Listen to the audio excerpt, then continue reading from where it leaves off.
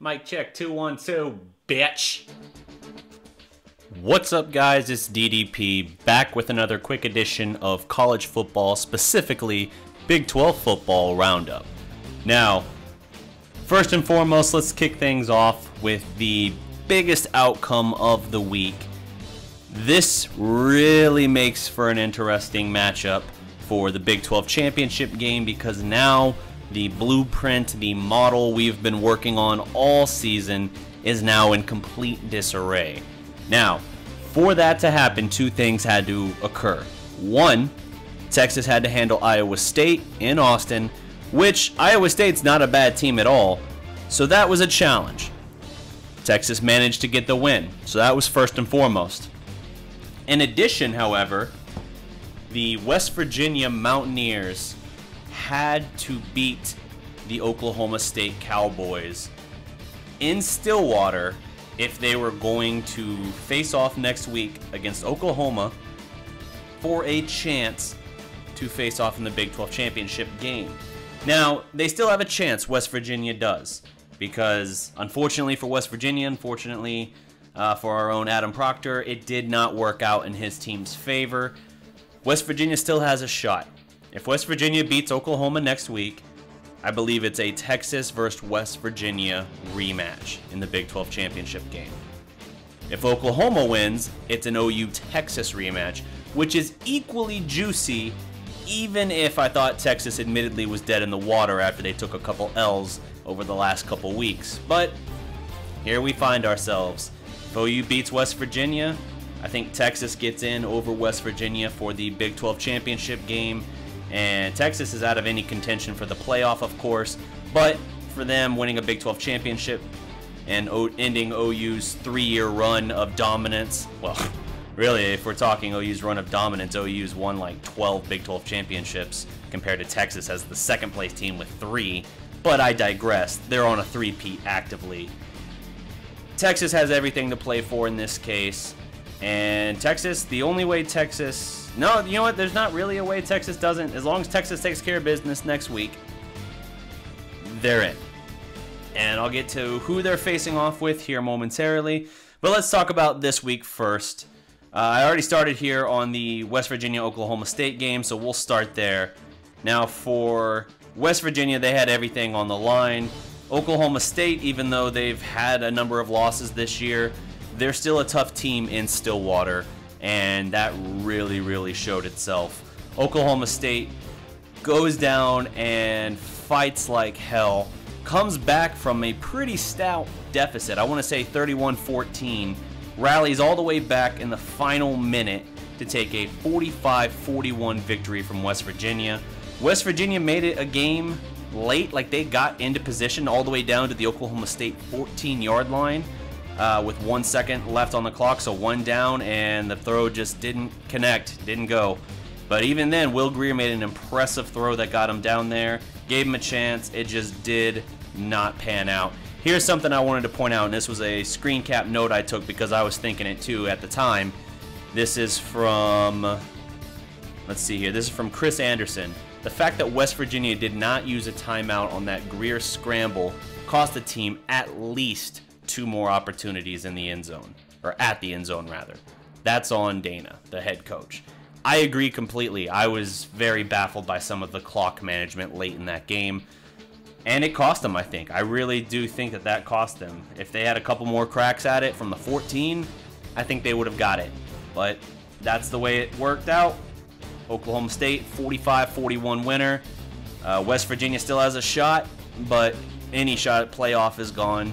Now it comes down to can they beat Oklahoma in Morgantown next week? That's going to be a hell of a game all the same, especially with OU's defense continuing to crater. But it, it's going to be two massively powerful offenses and two very suspect defenses. OU's put up at least 48 points in six straight games, I want to say. So expect a lot of points. Take the over, is what I'm saying next week. Elsewhere in Norman, no you have Oklahoma winning 55 to 40 against Kansas. 40? 40. You gave up 40 to Kansas. The hell is wrong with this defense, man? Uh, no, I know I didn't talk any stats on the West Virginia game. Don't worry about it. This is a shorter, condensed version. Uh, for Oklahoma, the only thing I'm going to point out on this, Kyler Murray accounts for five touchdowns, one pick. Uh, Kansas ran the ball however the hell they wanted, and that's the biggest problem Oklahoma has. That is something that West Virginia has shown they can do as well. So, again, I expect a high scoring game. More than anything, the reason Oklahoma's 10 and 1 this year is because they've got Kyler Murray and you don't. They have the human cheat code. Who even even Texas, uh, who gave Oklahoma, was beating the snot out of them for a while. Kyler Murray brought them back, tied up the game after being 21 down in the second half. I think in the fourth quarter, no less. Yeah, in the fourth quarter. So nothing nothing to sleep on there. If Kyler Murray is on point and on his game, he'll eat you alive and he'll single-handedly win OU the the conference. I feel, but you know that's getting a little ahead of it. I just feel like he is clearly the best player in the conference, and if he's on his game, good luck. Unless you're Army and you just keep the ball away from him by eating up every second of clock, and he gets four possessions in the game. OU 55 to 40. Seriously. Okay, I mentioned Texas 24 10 over Iowa State in Austin. Big bounce back for Texas. Again, they had been stumbling the last couple weeks. The loss to West Virginia, the loss to Oklahoma State. Good for them to right the ship. And hey, now they got everything right ahead of them, everything to play for. Uh, as long as I, I think they're in regardless, as long as they take care of business in this game. Again, Iowa State's not a bad team, but they beat them by 14 in a low scoring affair. Next week, Texas has Kansas at Kansas. So unless Kansas, with their eight losses, unless they want to give them the trouble they gave us, which I don't see happening because Texas is a better defense, uh, that'll be really interesting. Nothing else to talk about on that. Kansas State at K State beats Texas Tech 21 6. Tech, the only thing I'll say on Tech, they still don't have Bowman. They're still running with Duffey at quarterback.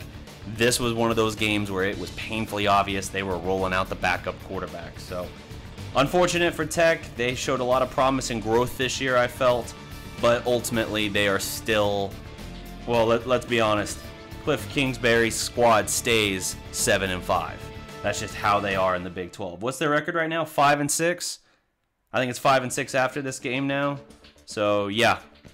They'll they'll probably end up something like 7 and 5, 7 and 6.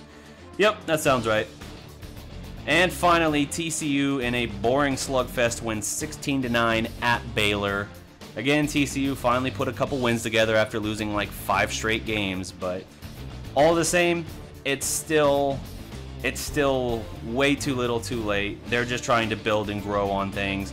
They sorted out their offense actually by sitting their freshman phenom Robinson, or excuse me, Collins? Is that who I'm thinking of? Or Robinson? Why am I blanking on names? Collins played in this game. I think I'm talking about uh, Robinson. Shows you how relevant they've been this year that I'm suddenly blanking on a guy who OU played a couple weeks ago. All the same, that was the Big 12 wrap up for this week. Again, next week is the big game, the game of the week for the conference Oklahoma at West Virginia. That is going to be a stellar offensive game. This isn't even to me defense optional. This is defense take the bye week, basically. OU's defense will stay in Norman. West Virginia's might, you know, be in the city, but they're not going to be on the field probably. This is probably going to be something like a Kyler Murray six touchdown game where it's like three running, three passing. This this will be interesting, but I'm very interested to see. I'm excited about the possibility of an OU Texas rematch, not just because if you're Oklahoma and you're looking to make a real case to finally get over the hump and get into the college football playoff picture, they're caught at six right now, last I checked.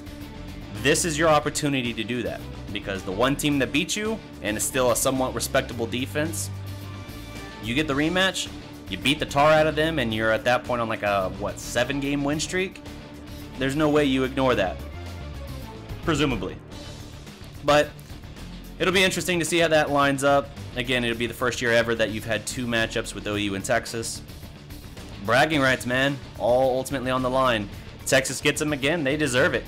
They absolutely deserve it because They took it to OU for the most part in the Red River rivalry earlier this year, and even though OU staged one of the most furious comebacks I've ever seen, not quite enough out of the defense uh, to get it done. Couldn't get the final stop they needed, and Sam Ehlinger does not turn the ball over. That's the big thing. Texas has big receivers who just destroy OU's secondary. OU's secondary is dreadful, and Sam Ehlinger will not turn the ball over. That's all you need to know, really, on the matchup for the Big 12 title game when that comes. Kyler Murray's going to have to find a way to put up 60 in that game, probably, for OU to win. It's a damn good offense, but uh, Texas is also a good defense, so that does feel like a bit of a big ask. But we'll see. This is the fun of the Big 12 season.